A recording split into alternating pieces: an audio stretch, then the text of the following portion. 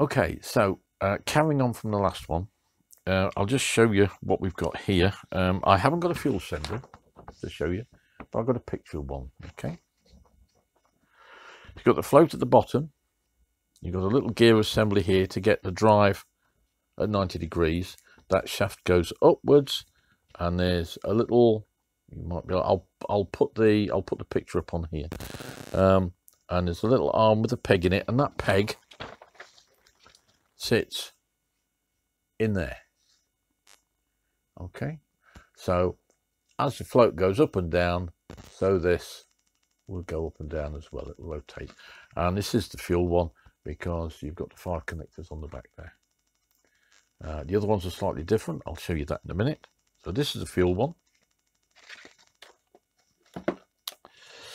Um, and this is the kind that we get on the flaps. Okay, so these are, believe it or not, these are new old stock, never been used. A little bit dusty.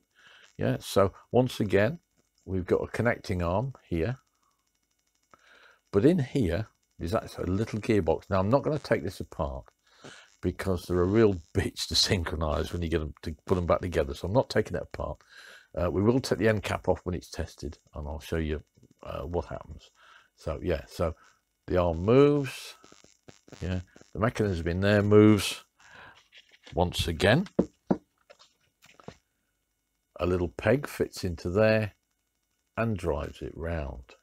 Yeah, it's all fairly simple analog, isn't it? Uh, nothing, nothing too technical.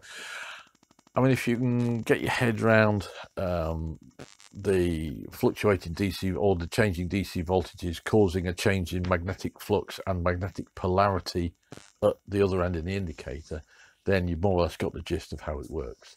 So what we're going to do now, uh, I'm going to move the camera uh, and we'll have a look at the test set which is on the bench here and uh, I'll run through a self test on the um, on the test set and so you can see the correlation um, of the um, uh, of the transmitter to the indicator. Um, uh, so we'll, what we'll do then is uh, we'll do that now um, because my ear itches and I have a terrible urge to stick my finger in it. I don't want to do it on camera because it's a bit coarse. There's enough coarseness going around at the moment. So anyway, yes. So um, right. So we'll stop this now and I'll be back with you guys when I've readjusted the camera and my lights and everything else. So stay cool and I'll be back with you shortly.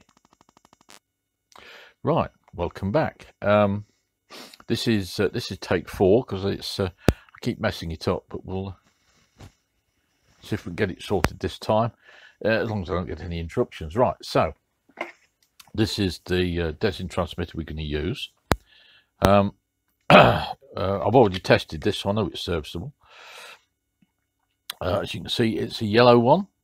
yellow means it's 24 volts and it's system AB. Right? A for the transmitters, B for the indicators. The good thing about this test set is all the instructions on how to use it and what to expect are actually on the lid, which is pretty good, which I suppose um, uh, for the time is, is fairly standard.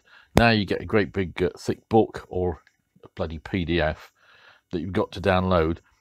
But uh, yeah, in those days, the instructions were either on the lid or they were in the lid in a little booklet. Anyway, we're digressing here. So what we're going to do now is we've already spoken about this uh, lovely attachment gizmo. So I've taken the, taken the center screw out, as you can see. So we're going to screw that into there, get it around the right way. Now I've already, uh, there we go, there we go, that's got it. Right, so that's fairly firm on there now. So what we'll do now is we'll power on there. We've got it sent to transmitter and on. So what I'm looking for in for this particular model, they're all some are different. This is a 135 FL, so it's going to give me uh, I think it is just over 180 degrees of movement. So we're looking, if that's the starting point there, it's fairly arbitrary, the starting point. I'm not worried where it's starting. But the fact that we're getting about 180, just a bit, a bit more, what's that 180 180 170 175 is it something like that um, quite a bit of movement so yeah and that's nice and smooth so you can see as I move the lever yeah can you see the needle? Let me just uh, shuffle the test set along a bit. Is that better? There we go. I know there's a light on it but uh, we won't worry about that. Okay.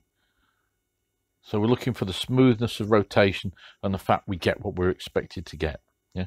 So as I said before, this is serviceable.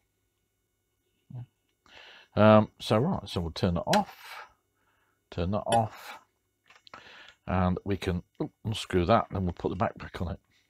And, okay, so we're going to I'm going to simulate uh, simulate a couple of faults, right? So as you can see, we've got a nice smooth movement there, but if we lose a line, if a line goes open circuit, you can see what the problem is straight away. Yeah. So, boom. And that's what you tend to get if a line goes open circuit. Um, so what happens, right, if you get two round the wrong way? So, let's swap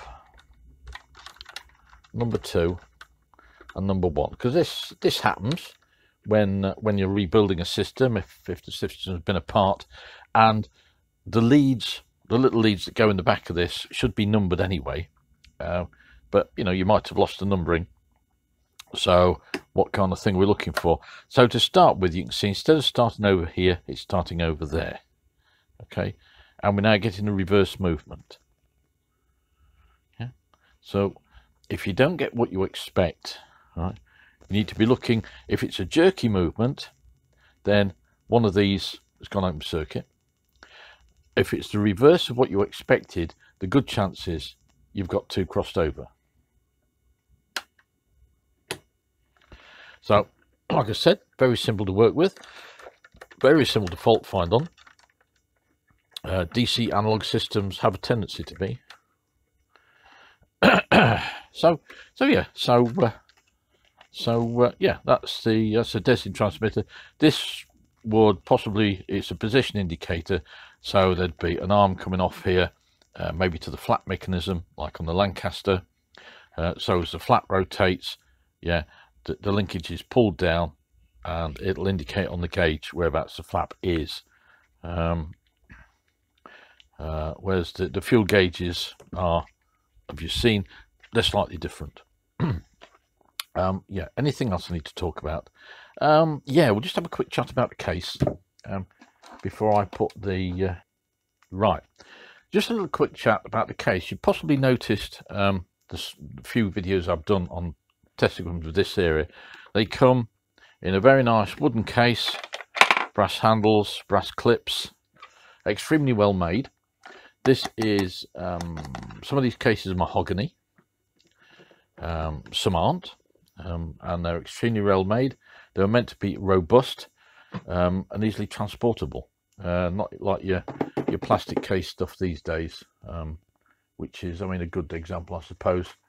Uh, oh dear, oops, shouldn't have dropped that. Never mind. Get back up there, you. All right, uh, my multimeter. This is the one I use in the garage. Now, if you compare this, I mean, this is plastic. I've had this a good, mm, a good, uh, must be about 20 years now. Um, but you compare this to the Avo Mark 8 that I've got back at the Heritage Centre. Yeah, uh, it's no resemblance. That's far better made. Uh, the, uh, the, it's it's just far better. Everything's far better on it, um, and uh, and I do like it. Um, I'd like one myself, but the are, problem is they are bulky. Same with these. Yeah, it's old analog kit. It is bulky. But what I want to bring your attention to, right, is on here. It's marked 233 OCU. Uh, for those of you in the know, you'll know what you'll know what that is, but for those of you who don't, right, 233 OCU was Harriers. Um, and I think they were at Wittering. Uh, I did look at me, uh, I did Google it the other day, uh, but I didn't write it down, which was rather foolish of me. But I know they ended up at Wittering. Uh, they were somewhere else before then. Um, and uh, so, yeah, Harriers um, only went out of service uh, a few years ago. Well, when I say a few years, sort of 10 years or more ago. Okay, so stay cool, everyone. Um, I have got a video in the pipeline that I'm going to be doing fairly soon, which is on um, um, um, um the um, temperature gauges in the Lancaster, how they work, uh, and the Wheatstone bridge system, Wheatstone bridge system uh, that they that they use. So yeah, so stay cool. Uh, please comment, rate, and subscribe. Hope you enjoyed it, and I'll be back yeah soonish with another one. Take it easy now. Stay cool, stay safe with all this crap going on. Bye for now.